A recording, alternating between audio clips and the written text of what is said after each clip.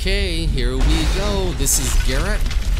Tears to Joy Ministries.org.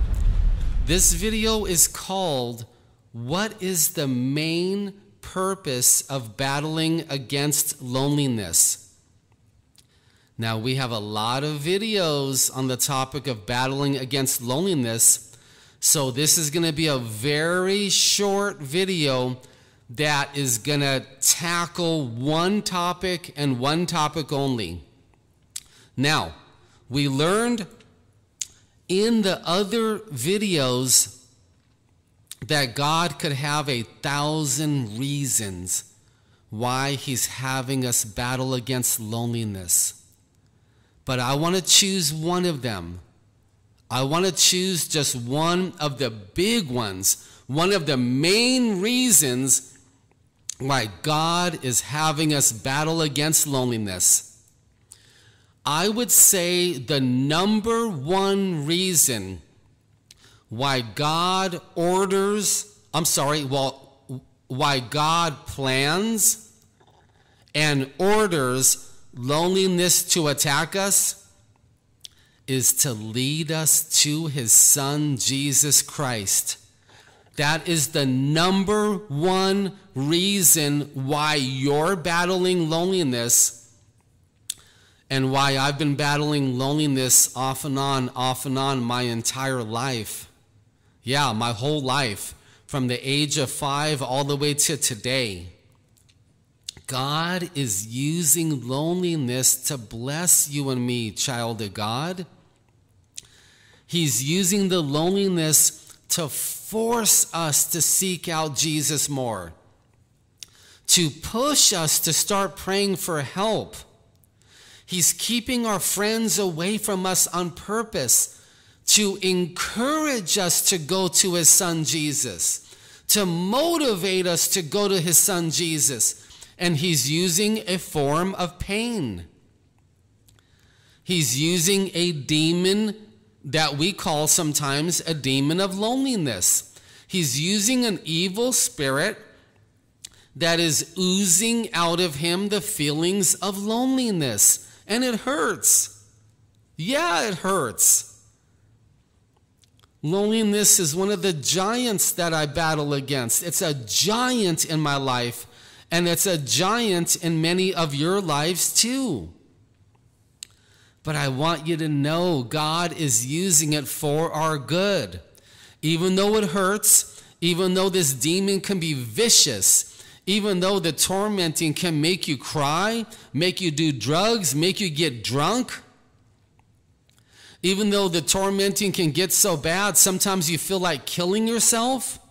All of this is true, but God is using it for your good. And if you could learn this, if you could only learn this, your whole life is going to start to change around.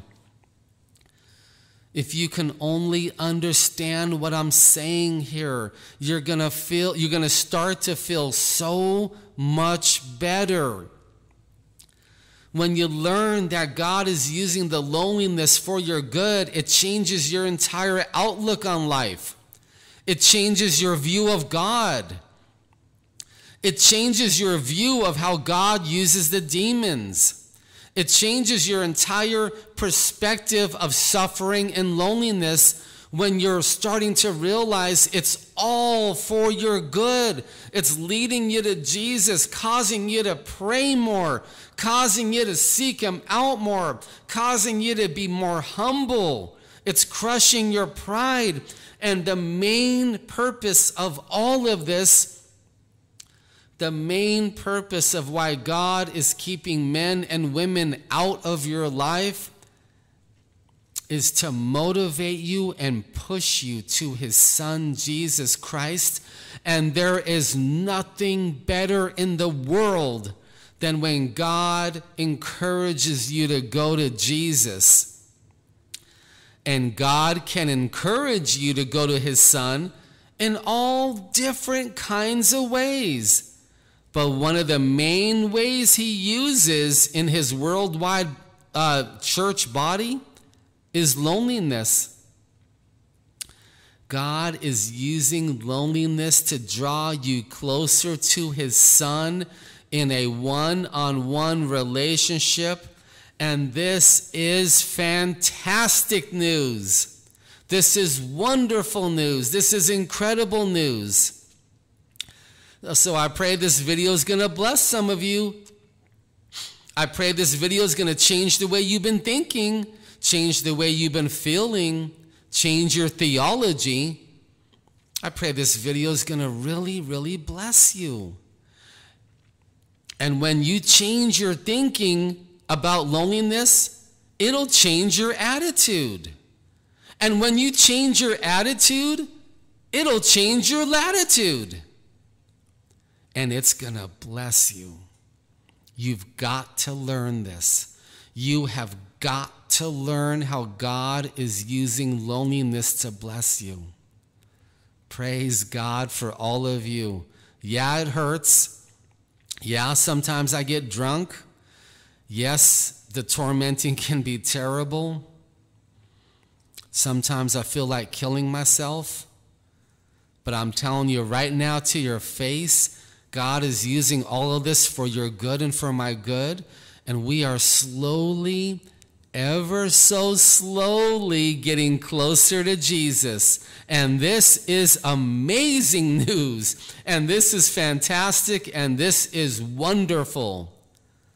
Praise God for using loneliness in our lives. Praise God. Praise God.